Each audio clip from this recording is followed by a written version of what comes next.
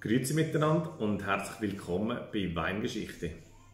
St. Laurent. Das ist eine stark aromatische Traubensorte aus der Burgunder Familie. In der Mitte, ungefähr in der Mitte vom 19. Jahrhundert ist die Traubensorte aus Frankreich, dann zuerst über Deutschland und nach Österreich eingeführt worden. Am Eingang vom Weltkulturerbe Wachau. Das ist eine der schönsten Flusslandschaften von Europa. Kultiviert Winzer Krems ihre Rebberge.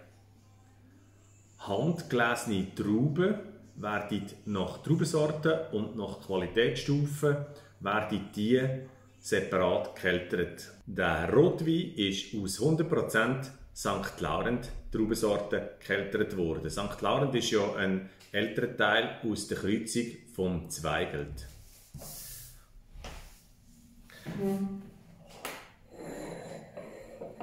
Okay, die Farbe. Ein mittleres Rubinrot mit einem ganz feinen Saum braun drumherum. In der Nase sehr vielseitige Nase.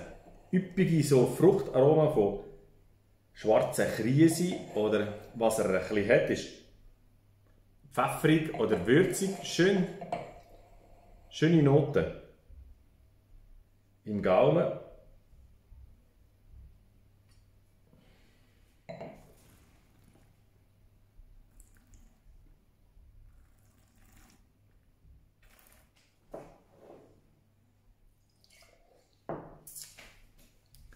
Im Gaumen ist er sehr ein mittelkräftiger Auftakt, mit einem mittelkräftigen, weichen Auftakt.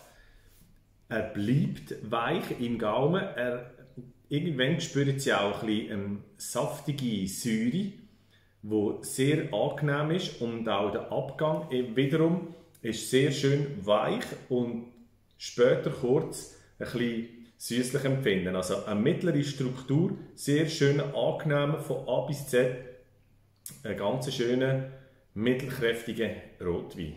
Der Rotwein ist abgefüllt in einer 7 Dezi mit Drehverschluss. Stark aromatischer Rotwein und der Drehverschluss ist dichter als ein Kork.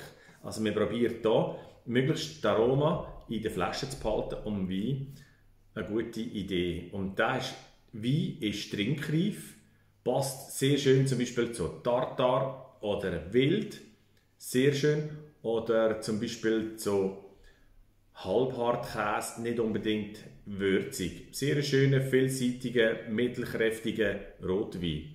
Der ist erhältlich bei www.weingeschichte für 19 Franken 65 in der 6 Karton verpackt. Wunderschöner trinkreifen Rotwein. Hans herzlichen Dank. Ade miteinander. Dankeschön.